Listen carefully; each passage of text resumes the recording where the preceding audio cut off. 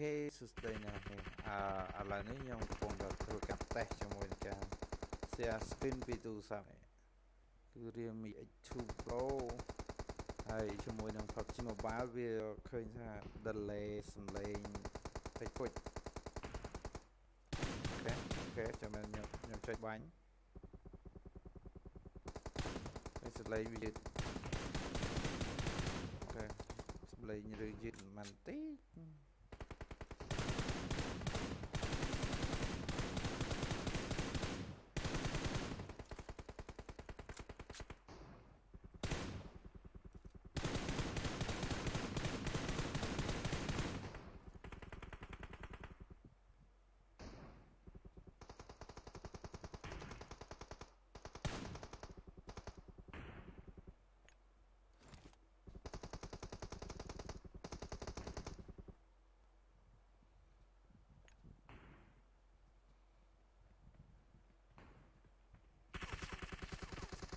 តែរូបភាពអីគឺវាច្បាស់ល្អ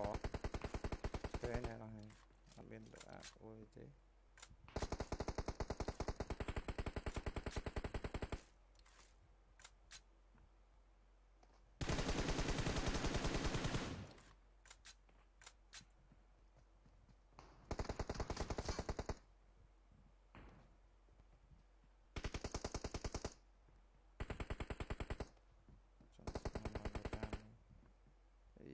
ឡើងលើឡើងអត់ពុជ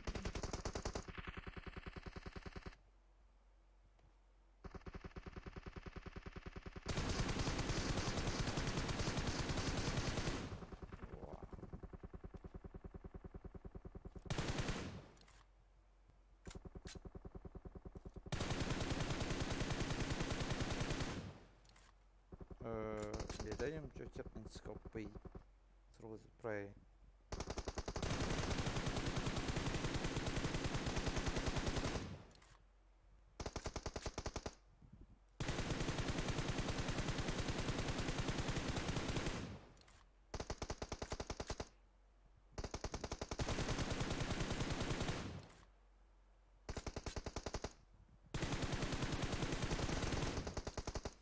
និ យាយទៅខ្ញុំចូលចិត្តនឹង scope 2 throw spray អូខេអញ្ចឹងឥឡូវនេះខ្ញុំធ្វើការតេស្តសាករបស់តែប៉ុណ្ណឹងហើយ